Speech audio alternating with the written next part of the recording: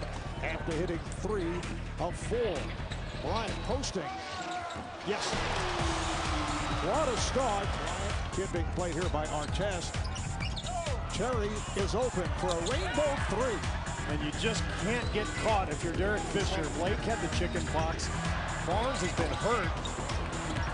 Marion with the putback. Maria Futch scoring column, but another nice pass from bottom. Nowitzki over Odom. Quick release by Dirk Nowitzki. You play the Lakers. They're among the best in the league. In fact, they're number one in the league in fewest fouls. Another great feed from Gasol. Lamar, that's going to be a challenge. There's Fisher. And he thought he was hit. Terry with Bryant back. Jason Terry has had the touch. I thought I was going to hit the ceiling here Yeah. at the Staples. There it is, starting this. Uh, all season. If there's any kind of chattering between it appears Powell just saw Bob Delaney getting between the saving that pass.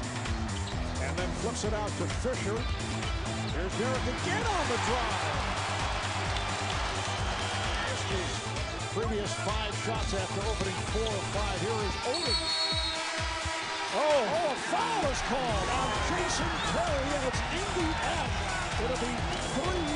he can just throw up a, a meaningless 70-foot shot. He gets fouled, and Dirk swung the elbow on Artest. That's why the technical. So you get